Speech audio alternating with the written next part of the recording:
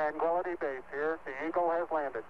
The Galactic Info Experience. How long is a bee's life? So, a worker bee, and we're talking about honeybees, Western honeybees, the ones you see me keep, uh, the lifespan of a female worker bee varies throughout the year. So, in the spring and summer, when the bees are working their hardest, the female worker bees will only live about six weeks. In the winter, when they're not doing quite as much, and when we need more bees to make it through the winter, they'll live a little bit longer and they'll live about six months. And their bodies actually change in the winter. The bees that are born later in the year and need to make it through the winter will have more fat bodies on them so that they can make it through the dearth when there's nothing in bloom and when bees are living off the honey that they collected or stored in their hive earlier in the year.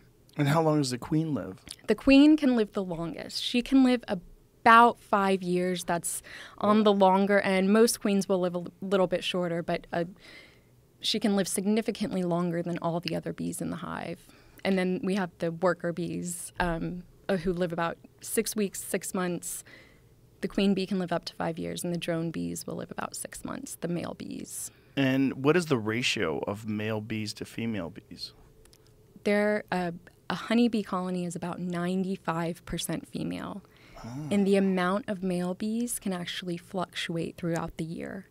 So when we need male bees around to mate with a queen, and they'll mate with a queen, not their queen, but when we need more male bees around, the colony will produce more male bees.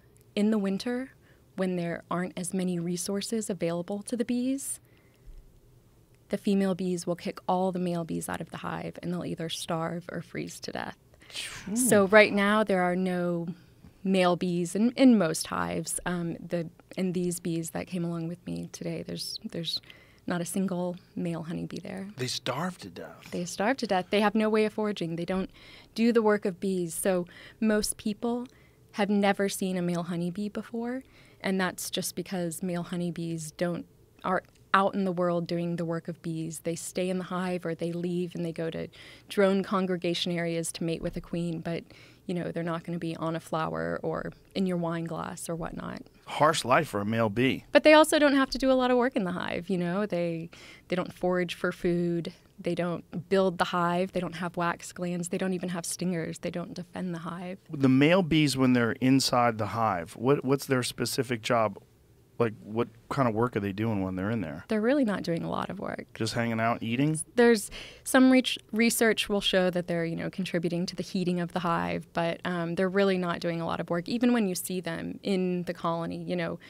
Not only can you distinguish them because they look different from the female female worker bees, they're larger than the female worker bees, but they're not doing anything. They're they're walking around different. You know, they're kind of fumbling and bumbling around. So um, they really don't have a lot of a lot of purpose, and which is why there aren't that many of them. You know, we have to keep in mind they only make up about five percent of the population, maybe ten, sometimes zero. So um, there aren't that many male honeybees, and I always love sharing with people that they probably have never seen one. So if you're ever near an observation hive or have the opportunity to go into a hive with a beekeeper, you know, I encourage folks to do that and make sure you ask to see a see a male honeybee.